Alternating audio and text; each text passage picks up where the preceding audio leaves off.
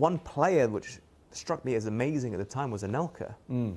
Because during this period, the great strikers, you know, Shearer, all-time Premier League top goal scorer, Robbie Fowler, they were all there, but Anelka felt like something different compared to them. Why? The pace. Mm-hmm. It's just that the raw pace when he's running at you looked electrifying. Now that was for me as a viewer. Yeah. I don't know how it was like how you viewed him as a, as a colleague, a teammate. He he was different in the sense that he just had this quiet edge to him. And I remember because we were the same age, we signed at pretty much the same time, exactly same age. Uh, we roomed together a couple of times early on, and he was very quite quiet, um, but he was like like an assassin on the pitch. Mm. He would just direct. That's it. He the was just so direct and There wasn't fast. any. There wasn't. He wasn't doing loads of elaborate stuff. It was like this is what I can do. His movement in terms of how he, he would see the, the play building up in midfield and he would just be spun and gone. And when Arsenal were at their best, when hit with him in the team, any early pass in behind or so someone like Dennis Bergkamp just drawing defenders in and Yeah. creating space, he was uh, frightening. Um, when it comes to Anelka, how do you view his career? Because he almost rebuilt himself. Yeah.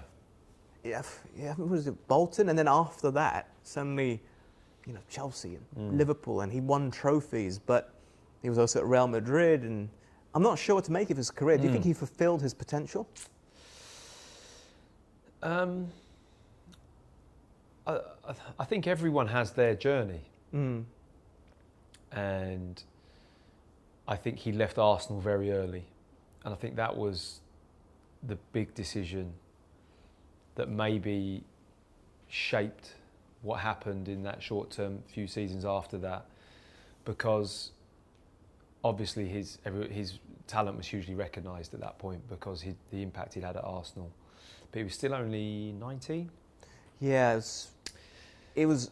It sent shockwaves Yeah. when he asked to Yeah, leave. I, yeah. I remember that. and and he had a, he had a, a, a manager in Arsene Wenger who was probably the, the ideal person for him at that time and would have protected him, managed him in the way that would, you know, would would have maybe helped him. Instead, he was thrust into the limelight at Real Madrid and a huge responsibility, a big price tag. And uh, you go to Real Madrid with that, that kind of position and with that money, you expected to go, I'm the finished article. This is what I am. And I don't think he quite was then. Mm. Um, and I think that was a difficult period for him. Obviously, it's uh, always a hard thing to turn down. You know, as, a, as you're dreaming of, of, of playing for Real Madrid at that, at that time, in that position is an incredible opportunity. Yeah, Um, because even when Ronaldo, Portuguese Ronaldo, Cristiano Ronaldo went, he was already, I think, 24, yeah, 25. He's, He had matured. I mean, he'd big won, the, he'd won the Champions League with Yeah. United already. and Yeah, and he'd played how many seasons at United then? Four full seasons? Something like that. Four yeah. or five? Yeah. you know, you're, you're at that point where, okay, I think I'm ready. So I think from that perspective, maybe things could have been different. But like you say, he, he got through that.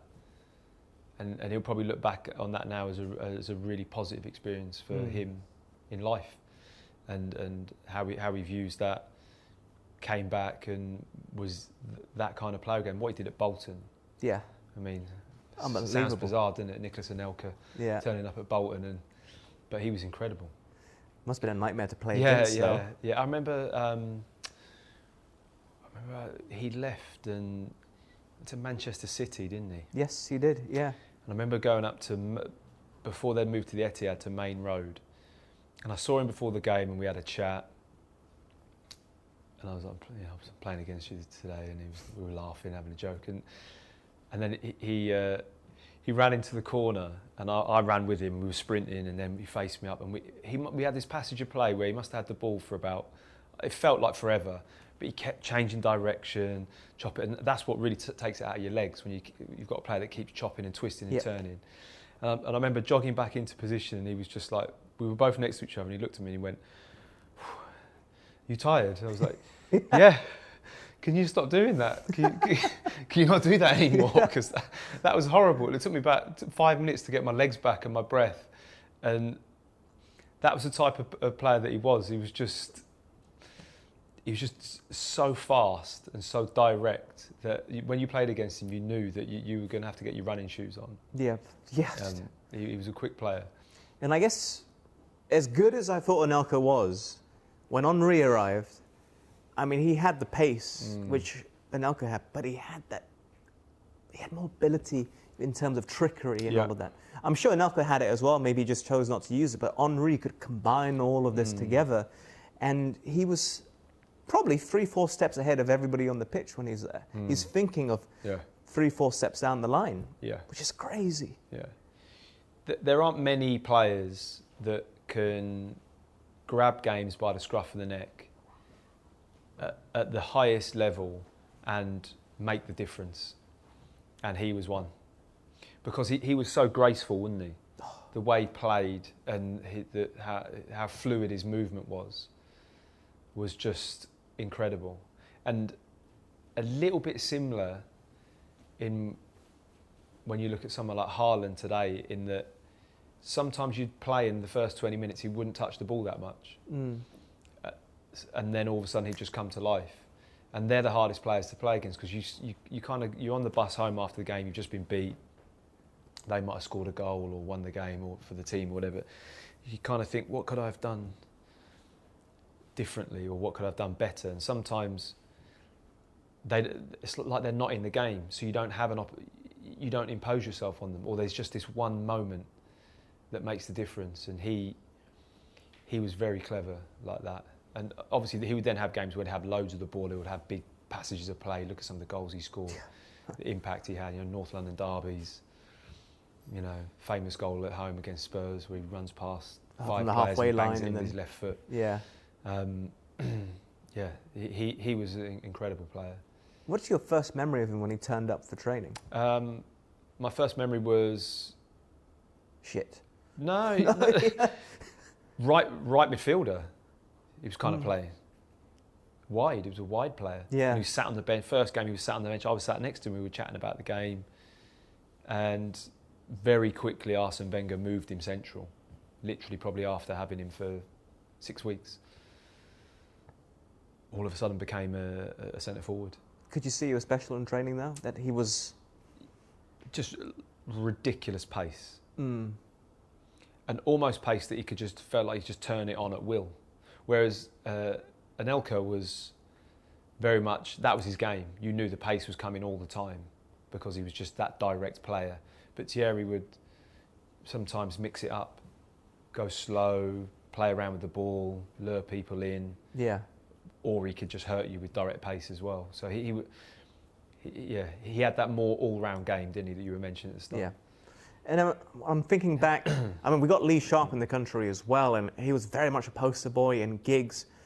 But at this stage, it felt like Arsenal, particularly of Henry, was making footballers into even bigger celebrities. Vavavoom. Yeah. Um, the ad, what was it? Citron or something? Renault. Renault, sorry, Renault. And when you see that and it's in the cultural zeitgeist, I still remember it now. Mm. Vavavoom. yeah. Uh, Bobby, how do you say this in English? Yeah, Well, whatever they, they said in the ad. Yeah. It just felt like the Premier League was becoming sexy, for lack of a better word, you know? And I think a lot of it has to do with Arsenal and players like Henry. Yeah, I'd, I'd agree with that. Had a big impact on the game for sure. Yeah. And like I say, a lot of that comes from the manager. What Arsene Wenger did, and that was a big change for, for English football. Having a coach like him coming in, having that success in the way that he had it with the players that he had and what that became, I, I agree. You didn't you didn't notice it back then. You were just playing football. Mm. Um, but when you step back now, all these years later, you look at it and go, it was very very influential. Is he a, a vocal presence, Henry, in the dressing room? Yeah, I think he, he, he probably more so obviously as he became captaincy Yes. and players, you know, like Tony Adams that left the club and and Patrick Vieira moved on and, and what have you. I think he obviously grew into that role as you naturally would with experience and and and responsibility. But yeah, he, he was always somebody that so self-assured, so confident. Like say, he had that swagger, that arrogance Vavavoom. on the, the vavavoom he had, and he had that in, in abundance.